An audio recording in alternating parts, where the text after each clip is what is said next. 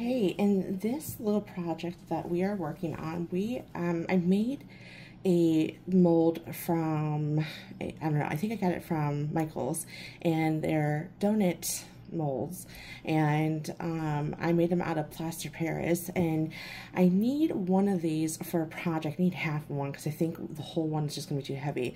So the other half might just be a decoration or whatnot, what have you. So what I'm going to use is I'm going to use these Slick um, Tulip, let's see here, Cotton Candy and Mermaid and I am going to go ahead and drizzle it on here. I'm going to leave it white. In fact, actually, I probably should paint them first. So I am using, to paint that, I'm going to go ahead and use a linen, 879 linen to paint this. Um, just a, I know that donuts are typically darker than this color, but I think I kind of want to just make it more of a pastel look, so that's why I'm going to go ahead and paint it a really light brown. So I'm just going to go ahead and fast forward through this part and get this whole thing painted and we will come back and decorate this. This is going to be a really easy project. This is a five minute craft. I mean, well, maybe a little bit longer, but it's not going to take you long to go ahead and paint it and then um, apply some cute little um, sprinkles on there. Okay, so let's go ahead and do one uh, green and one pink one.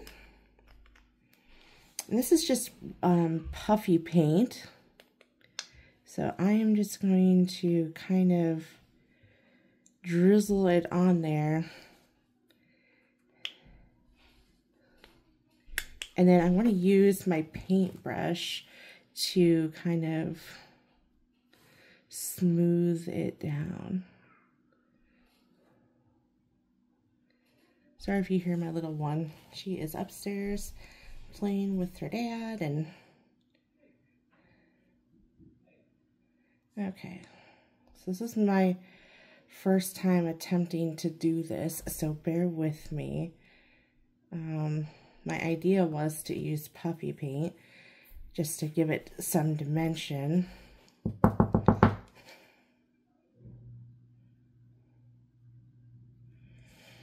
So I'm just trying to get this on here as best as possible and smooth it out.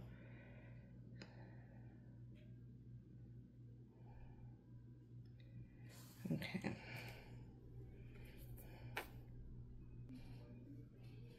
Alright, it's not exactly the true icing. I mean, I think it's a little bit more textured than most donuts are, but I think this is my first time and just going to give myself a little bit of grace. So there's that.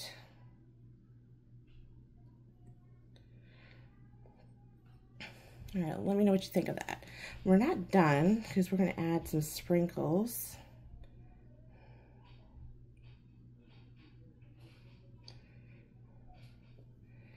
And then this is going to be one of them at least. It's going to be part of my other, another video. So you'll see this again.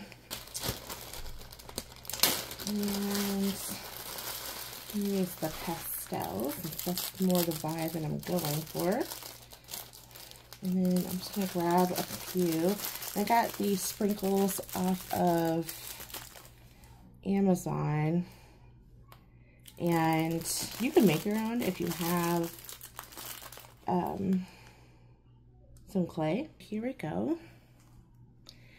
And then I'm going to use my um, paintbrush to kind of lay them down, make sure none of them are standing up. And I think that's that's good. Okay, so I'm going to go ahead and do this one. I'm going to speed it up and we'll look at them together.